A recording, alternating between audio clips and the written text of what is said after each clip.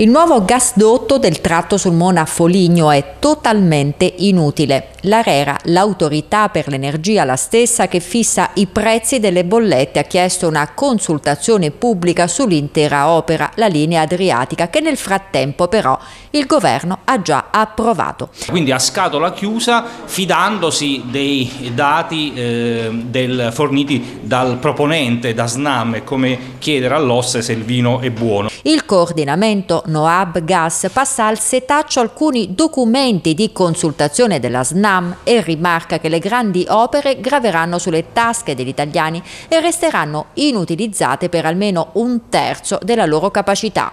Il costo dell'opera è 2,4 miliardi, peraltro lievitato dalle ultime stime di, di qualche anno eh, fa. Al 2030 eh, SNAM intende realizzare opere per una capacità di 100 miliardi di metri cubi, quando gli italiani al 2030 ne consumeranno 60 miliardi, secondo la stessa ammissione di SNAM, nello stesso documento e l'Italia ha esportato fino a ottobre del 2022 3 miliardi e 400 milioni di metri cubi di gas. Le strutture, eh, delle infrastrutture tecniche che ha la SNAM sono più che sufficienti a soddisfare i fabbisogni se si avesse la materia prima dall'origine, ma eh, dall'origine significa contrattare con i mercati, per esempio da, dall'Olanda e dalla Norvegia nel 2002 eh, erano arrivati da 8 miliardi, si era sceso a 2 miliardi, ora invece è risalito un po' nell'anno scorso. Ecco. Adesso anche l'Algeria ha dato qualcosa in più.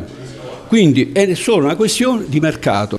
Il metanodotto dovrebbe essere tra l'altro costruito in una zona che da sempre ha le sue criticità naturali.